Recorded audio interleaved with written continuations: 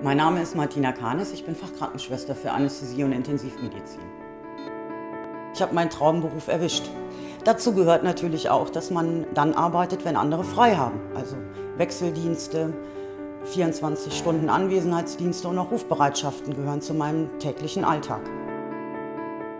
Und damit ich am Wahlsonntag meine beiden Stimmen abgeben kann, mache ich Briefwahl. Angela Merkel ist für mich eine Frau mit Vorbildfunktion. Und wie sie unser Land zusammenhält, beeindruckt mich jeden Tag aufs Neue.